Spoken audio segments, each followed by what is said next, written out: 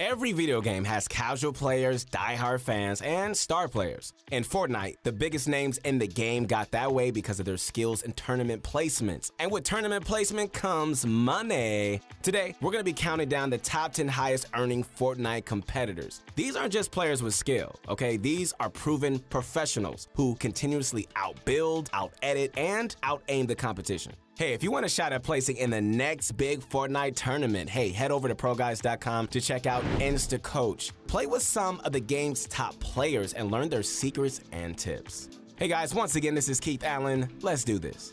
So, in the past, earning money in Fortnite tournaments was, well, well, it wasn't too easy. But when Fortnite announced its crazy $30 million World Cup prize pool, well, it totally surpassed not only itself, but every other esport tournament in history. With $3 million going to the winner alone, the finals will surely shake up this list big time.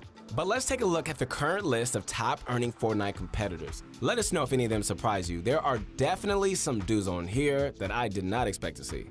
Coming in at number 10, we have the infamous Liquid Chap. He's a well-known pro player from Team Liquid and has been an OG for a long time. Honestly, I don't know a single person who hasn't heard of Chap. So up until the World Cup, Chap was a very competitive player, but his success seems to have slowed him down thanks to the many competitive changes Fortnite has continued to implement. They stripped away stretch resolution after many of Fortnite's pro players have been using it since the start. His gameplay is a mixture of opportunistic combined with textbook playstyles. Regardless, Chap has won over $245,000 from tournament earnings. Some of those include many of the summer and fall skirmish series, where he demonstrated insane performances. Recently, he hasn't shown any real signs of dominance, but that's why he secured our number 10 spot. Morgausse, unlike many other popular pros, clawed his way into the scene through motivation and effort. He first made an impact at PAX West Fortnite Summer Skirmish Series. He popped off, defying the haters and winning first place. That earned him a cool 270,000. Wow. Here was a look at his reaction to winning. When we take a look at Morgausse's personality, he's a very likable character. It's a wonder why he hasn't built up much of an audience. He wins through passive gameplay similar to many players who prefer to play for the endgame. Recently, Morgausse hasn't been on the radar nor shown any significant performances, and we're inclined to think he dropped out of the scene. What do you think? When I hear the name Vivid, only one thing comes to mind intelligence. It was the key trait that helped him earn a reputation, becoming one of Team Liquid's finest Fortnite players. Vivid has earned a total of, hmm, $288,000 in a span of under a year.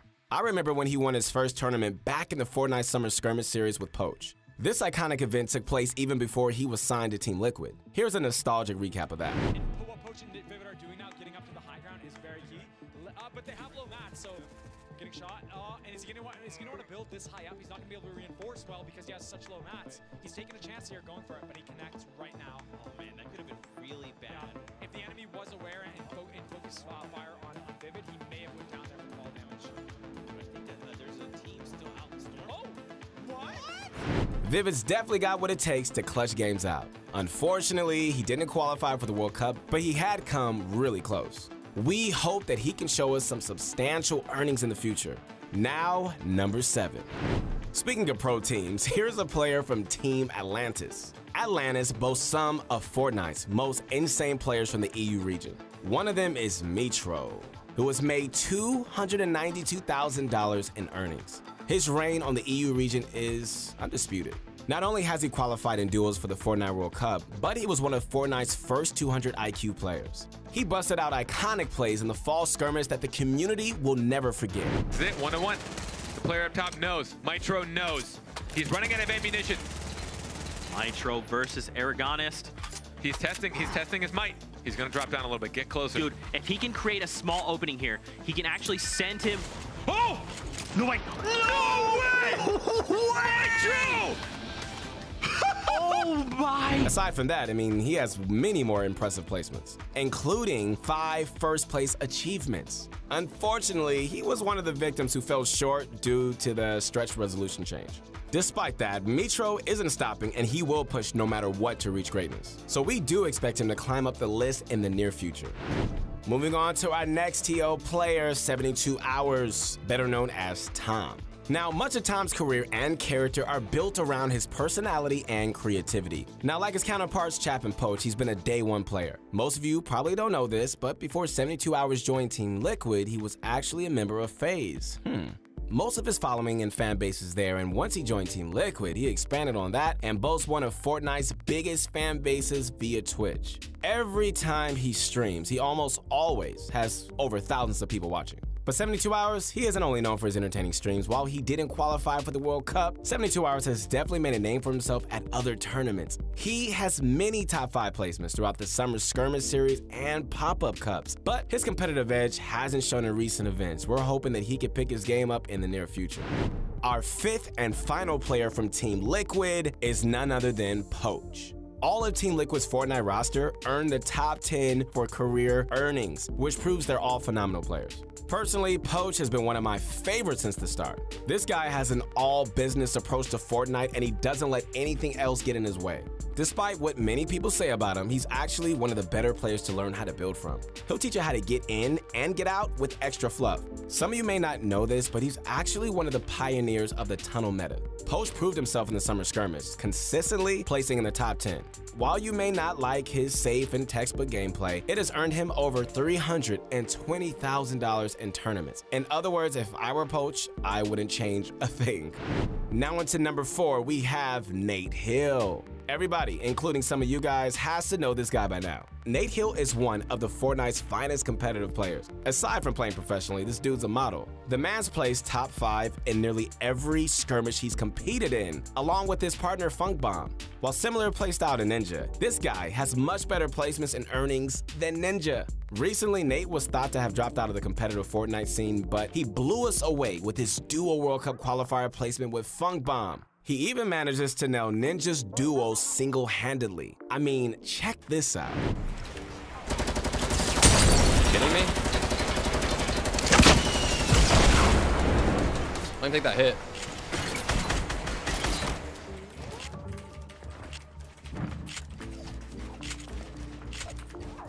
Oh no. I believe you got high ground though. Yeah, I do. Watch out for thermal. Yeah, I saw you. They're turtling. You see them turtling right Yeah. there?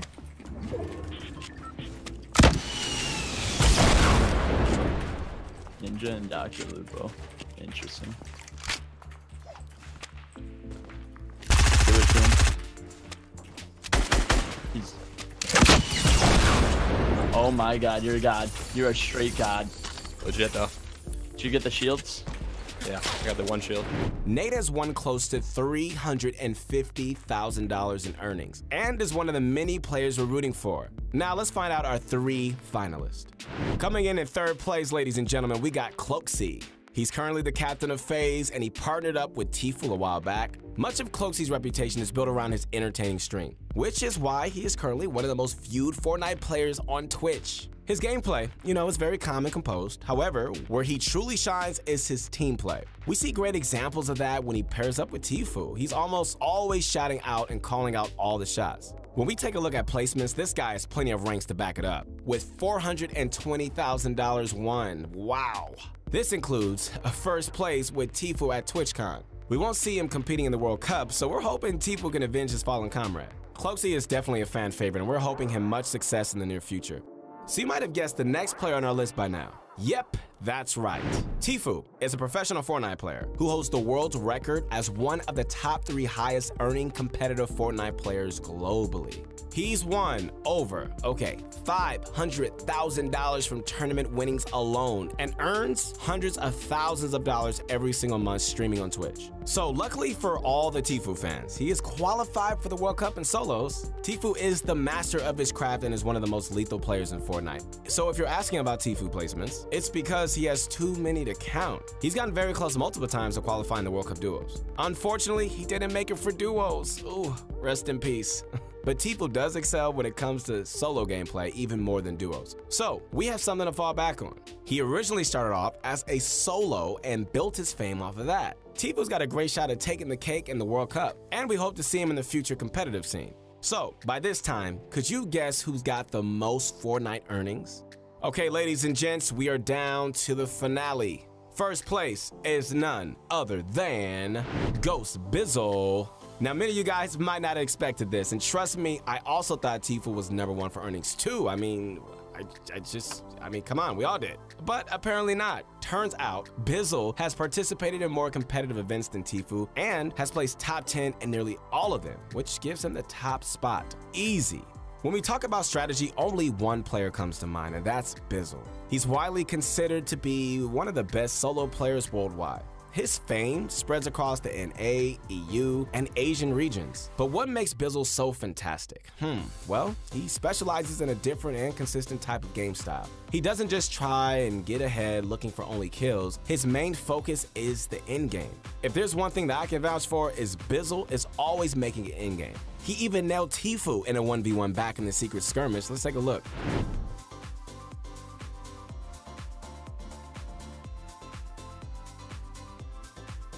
The aspect of Fortnite's fundamentals takes him a long way because he's able to manipulate things to his favor. His total earnings, okay, are $511,000, which set the record straight and puts him in our number one spot. So, what did you guys think of the list? What were you expecting? Or did you envision some different competitors? Let us know down below and don't forget to leave a like and subscribe. We upload daily. Hey guys, once again, this is Keith Allen. Hey, thanks so much for all you guys' support and connect with me on my Instagram. I want to hear from you. We got some things coming out you don't want to miss. Stay tuned.